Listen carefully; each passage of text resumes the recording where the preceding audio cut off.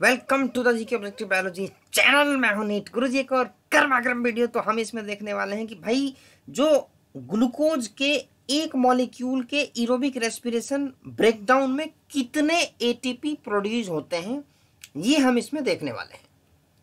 तो important video है और बहुत ही अच्छे तरीके से समझने वाला है कि कितने एटीपी होंगे। तो हम शुरुआत करेंगे भाई ग्लाइकोलिसिस से। अब जब ग्लाइकोलिसिस शुरुआत होती है तो ग्लूकोज एंट्री करता है। तो यहाँ हम देखेंगे कि दो एटीपी शुरू में यूज़ हो जाते हैं। ठीक है? टू एटीपीज यूटिलाइज्ड अब यहाँ देखो कि ये सिक्स कार्बन का था, ये थ्री कार्बन और थ्री कार्बन में कन्वर्ट हो गया। अब जो इसकी साइकिल चलेगी, वो इसकी साइकिल चलेगी। ठीक है? दो तरफ़ साइकिल चलेगी, क्योंकि तीन कार्बन तीन कार्बन एक एन यहाँ से निकला तो एक यहाँ से भी निकलेगा। ठीक है तो N produced from glycolysis is two ठीक है जी? तो how many N A D H has been produced from glycolysis दो एनएडीएच ठीक है जी, यहाँ क्लियर कट लिखा हुआ है। Two N A D H are produced from glycolysis अच्छा अब डायरेक्ट एटीपी कितनी बनी? एक इस स्टेप पे बनी, एक इस स्टेप पे। एक यहाँ से भी चल रही है रिएक्शन भाई। टोटल एटीपी कितनी हो गई? चार। यहाँ टू का सिंबल लगा रखा है। टू इंटू दिस ठीक है, ये दोनों क्या है कि आपस में इंटर कन्वर्टिबल है। एक दूसरे में कन्वर्ट होते रहते हैं। देख रहे हो? ये रिवर्सिबल का लगा हुआ है सिंबल तो एक एटीपी यहाँ, एक एटीपी यहाँ। तो दो तरफ़ है तो चार एटीपी कितने हो गए भाई? चार। तो direct ATP produced is four और ग्लाइकोलिसिस के अंदर ही two ATPs has been utilised अब ग्लाइकोलिसिस का तो फंडा समझ में आ गया। चलो आ गया भाई।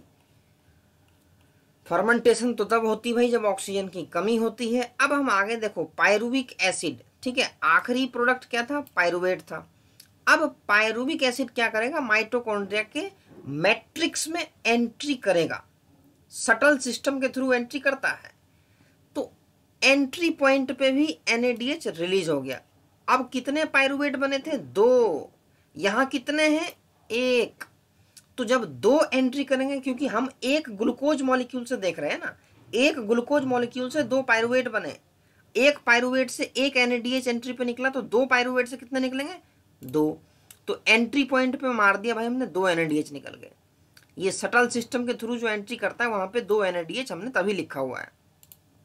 यहाँ एक है, क्योंकि दो पायरुवेट घुसेंगे ना, एक ग्लूकोज से दो पायरुविक एसिड तो यहाँ इसलिए मैंने वहाँ दो लिखा हुआ है। अब सीट्रिक एसिड साइकिल जो चलेगी, वो एक पायरुविक एसिड की चलेगी।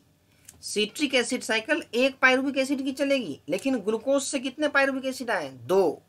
तो इसलिए जो भी इसमें प्रोड्यूस हो रहा है, उसका डबल तो सीट्रिक एसिड में एनएडीएच कितने निकल रहे हैं? तीन। तो टोटल कितने हो जाएँगे? छ टोटल कितने हो जाएँगे भाई? छ सिक्स एनएडीएच मैंने यहाँ लिखा हुआ है सिट्रिक एसिड साइकिल से। F A D H two कितना निकल रहा है? एक स्टेप पे। तो मैंने कितना लिखा हुआ है? दो, क्योंकि दो हो जाएँगे। मैंने टोटल लिखा हुआ भाई।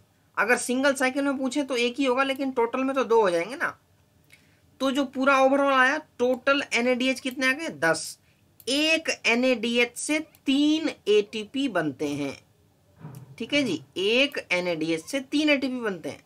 और मैं बता दूँ, कुछ स्टैंडर्ड बुक्स में, जैसे स्ट्रायर बायोकेमिस्ट्री क्योंकि उसमें ये भी लिखा हुआ है कि ढाई एटीपी बनता है। ठीक है, ढाई और डेढ़ का भी कॉन्सेप्ट है तो वो थोड़ा सा अलग हो गया, लेकिन हम तीन और दो का मान के चलेंगे। और टू कितने एटीपी बनाता है? एक से दो बनाता है। तो तीन दस तिया तीस तीस एटीपी तो एनएडीएच से आ गए। और दो दुनी चार चार एटीपी तुम्हारे एफ़ से आ गए। और चार एटीपी डायरेक्टली प्रोड्यूस हो गए। तो total ATP produced in from one molecule of glucose in aerobic respiratory breakdown pathway is 38 molecules of ATP लेकिन अब तिगड़म फंसता है कि टोटल ए टी पी अड़तीस प्रोड्यूस होते हैं।